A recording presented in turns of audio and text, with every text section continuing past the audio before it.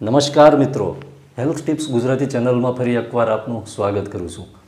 મિત્રો, ચોમાસાની ઋતુની શરૂઆત થઈ ગઈ છે. વરસાદી સિઝન ભેજવાળું વાતાવરણ.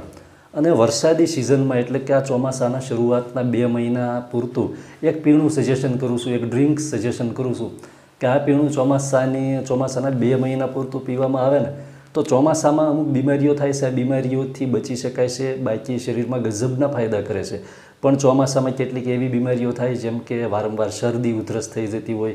અને સૌથી મહત્ત્વનું એ કે ચોમાસાની સિઝનમાં આપણી પાચન શક્તિ ઘણી મંદ હોય છે, મંદ પડી ગઈ હોય છે. તો પાચન શક્તિ માટે પણ સારું છે. બીજું એ કે ચોમાસાની ઋતુમાં ઘણા લોકો વારંવાર ભીંજાઈને આવે વરસાદમાં અથવા વરસાદમાં પલળીને આવે, વરસાદનું પાણી એક તો ઠંડુ હોય છે. ઘણા લોકોને માફક ન આવતું હોય. વરસાદમાં એક કે બે વાર કે ત્રણ વાર પલળે એટલે શરદી થઈ જાય અથવા નાકમાંથી શીકો આવે અને નાક અને ગળામાં બળતરા આવી સમસ્યાઓ થાય. બીજું એ કે ચોમાસામાં પાચન શક્તિ મંદ હોય છે એટલે પેટની કોઈ સમસ્યાઓ થાય, ગેસ, એસિડિટી, કબજિયાત, આફરો, અપચો તો આવી બધી સમસ્યાઓ છે, એનાથી બચાવે છે. સાથે સાથે શરીરમાં ગજબના ફાયદા કરે એવું પીણું કે ચોમાસાના બે મહિના તો દરેકે પીવું જ જોઈએ અને ખૂબ જ ફાયદો કરે છે અને આ અનુભવ સિદ્ધ પ્રયોગ છે મિત્રો. પીણું છે ને એની વાત કરું ને તો પીણા પીણું કઈ રીતે બનાવવાનું? કાંઈ નથી, એક સામાન્ય અને સાદું પીણું છે. દરરોજ સવારે ઉઠી અને એક ગ્લાસ જેટલું પાણી ગરમ કરવાનું છે પહેલાં. પાણી બરાબરનું ગરમ થઈ જાય પછી એને ચૂલા કે ગેસ પરથી નીચે ઉતાર્યા પછી એની અંદર એક લીંબુ નીચોવી દેવાનું છે. એક વ્યક્તિ માટે અડધું લીંબુ હોય તો પણ ચાલશે. એટલે કે એક કે દોઢ ચમચી જેટલો લીંબુનો રસ.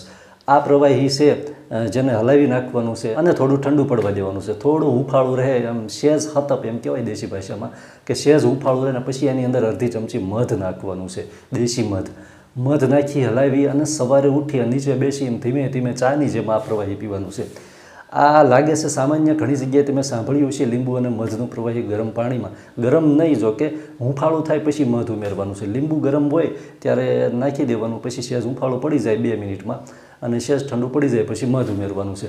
આ પ્રવાહી છે એ ગજબનો ફાયદો કરે છે શરીરમાં. સૌથી પહેલાં તો એ કે જે લોકોને વાયરલ સંક્રમણની સમસ્યાઓ વધારે રહે છે જેમ કે શરદી થાય, ઉધરસ થાય, નાક અને ગળામાંથી બળતરા થાય, વરસાદમાં પલળ્યા હોય અથવા ચોમાસાની ઋતુમાં વારંવાર તળેલી વસ્તુ અથવા તેલવાળી વધારે વસ્તુ ખાવામાં આવે, તો એને લીધે પણ શરદી અથવા વાયરલ ઇન્ફેક્શનને કારણે ઘણી વખત તાવ પણ આવી જાય અથવા પાચન શક્તિ છે, મંદ હોય છે ચોમાસામાં. અને એમાં પણ વધારે કંઈક ખાવામાં આવે અથવા બહારનું કંઈ ખાઈ લીધું હોય કે ચોમાસાની ઋતુમાં આમે બહારની જે વસ્તુઓ હોય છે, એની અંદર જીવાણુઓ વધારે રહેવાની શક્યતા હોય છે, અમુક પ્રકારના બેક્ટેરિયા જે નુકસાનકારક હોય છે, તો આવી વસ્તુ ખાવાથી ઘણી વખત અપચો થાય, આફરો થાય, ઝાડા થઈ જાય, ઉલટી થાય કોલેરા જેવી સમસ્યાઓ પણ થાય છે.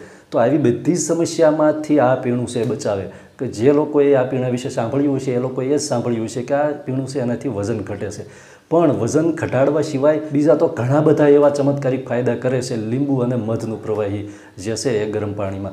તો આ રીતે આ પીણું પીવાથી ચોમાસાના બે મહિના પીવામાં આવે ને ચોમાસામાં થતી બીમારીઓથી સો ટકા બચાવે છે મિત્રો. જેમને વારંવાર ખાંસી અને ઉધરસ થતી હોય તો આવા લોકોને પણ ખૂબ જ ફાયદો કરે છે કે શરદી ઉધરસથી બચાવે છે. સાથે સાથે પાચન ક્રિયા જે છે એ સુધારશે જેના કારણે જે પેટ જેમને સાફ ન થતું હોય તો આવા લોકોને પણ ખૂબ ફાયદો થાય છે. આ પ્રવાહી દિવસમાં બે વખત પણ પી શકાય છે. પણ સવારે ઉઠી અને ખાલી પેટે તો અવશ્ય પીવું જોઈએ. બની શકે તો પેટ સાફ કર્યા પહેલાં એટલે સવારે વાસી મોટે આ પ્રવાહી પીવાનું છે.